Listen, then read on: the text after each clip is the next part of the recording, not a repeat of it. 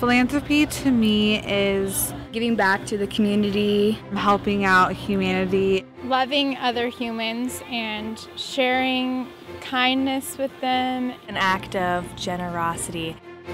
Philanthropy is a really, really big part of Cal Lutheran's culture. Student Philanthropy Club basically is a bridge between the donors of the annual fund and the students. It's really important what we do because we basically provide the appreciation necessary in order for people to continue making donations to the school. Some of the events that we initiate are Philanthropy Fridays, which are one Friday out of every month. And then also in March, we do a philanthropy week, which includes tuition free day.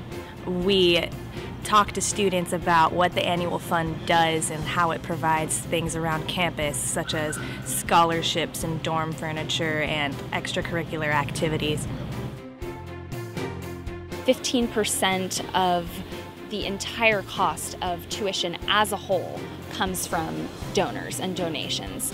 For me, I really benefit a lot from scholarships I've received from CLU. So being a part of SPC is kind of passing on like what I've been given.